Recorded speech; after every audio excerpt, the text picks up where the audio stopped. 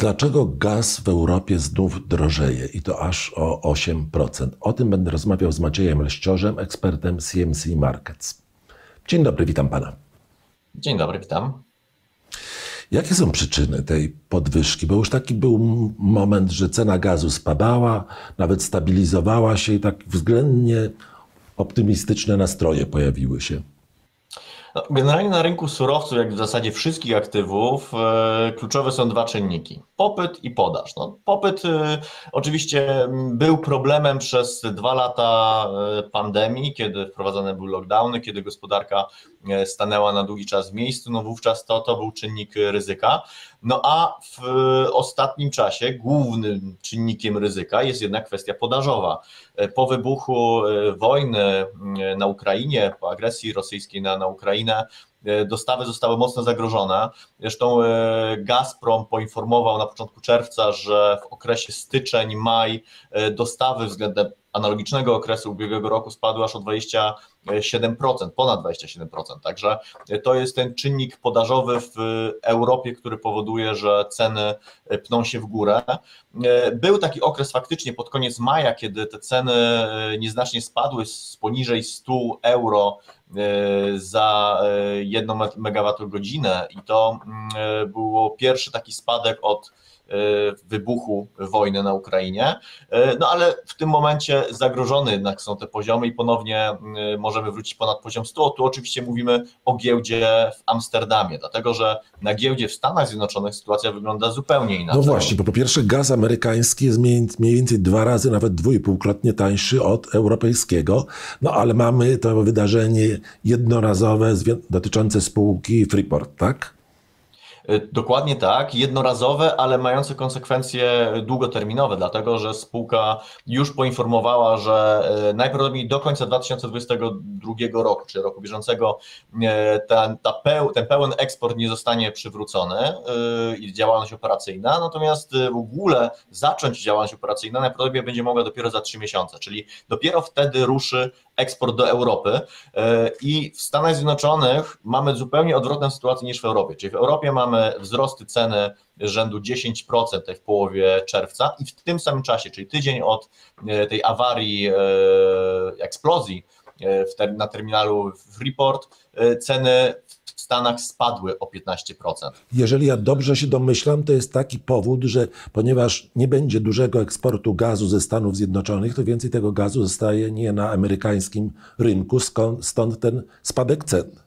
Dokładnie tak, dokładnie tak. To jeżeli chodzi o e, ten terminal Freeport, on otrzymuje około 2 miliardów stóp sześciennych gazu dziennie e, i to jest e, około 16% zdolności eksportowych amerykańskiego gazu ziemnego, więc w tym momencie te 16% zdolności pozostaje w Stanach Zjednoczonych. Nie mamy do czynienia wprawdzie z nadpodażą, czy nie grozi nam taka sytuacja jak choćby na początku pandemii w przypadku ropy naftowej, gdzie amerykańska ropa WTI zniżkowała i kontrakty zostały rozliczone nawet z wartością ujemną. Tutaj oczywiście też to jest surowiec, który, którego nie da się wylać, czy, czy, czy są trudności z magazynowaniem w przypadku gazu, no ale jednak cały czas e, popyt wewnętrzny jest, więc taka sytuacja nam absolutnie nie grozi. Natomiast na pewno e, z punktu widzenia amerykańskiej gospodarki te spadki cen gazu, no one są dla Amerykanów pozytywne.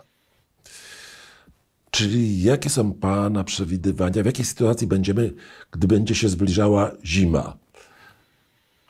No właśnie, tutaj dochodzimy do tego problemu mm, z dostawami, dlatego że e, w tym momencie e, te, te, ceny aktualne, potencjalne wzrosty są bilansowane mniejszym zapotrzebowaniem na gaz. Natomiast w okresie jesienno-zimowym, kiedy e, wrócimy do wzrostu zapotrzebowania, poziomy powyżej 100 euro na, na giełdzie w Amsterdamie, czy nawet te szczyty w okolicach 120 euro są absolutnie możliwe i tutaj nie można wykluczyć takiego scenariusza, właśnie w tę stronę rynek będzie podążał. No chyba, że e, stanie się coś, czego mm, nie zapowiadano wcześniej, czyli jednak ruszy ten eksport ze Stanów Zjednoczonych, bo to jest kluczowe. E, nie wydaje mi się, żeby tutaj sytuacja w przypadku e, Rosji mogła się zmienić, dlatego że kolejne kraje są odcinane eksportu z Rosji, więc tutaj w tym przypadku sytuacja może się tylko pogarszać. Nawet geopolitycznie z punktu widzenia Rosji też to jest korzystne E, oczywiście poświęcenie pewnych dochodów kosztem korzyści geopolitycznych. Także to jest e, taka walka już nie tylko cenowa, ale również e, na szczeblu politycznym. I to, to jest duże zagrożenie dla cen gazów w całej Europie. Ale chyba nie jest sytuacja aż tak zła jak przed poprzednią zimą, czyli nie grozi nam wybicie cen aż do tak wysokich poziomów. Czy też inaczej jest?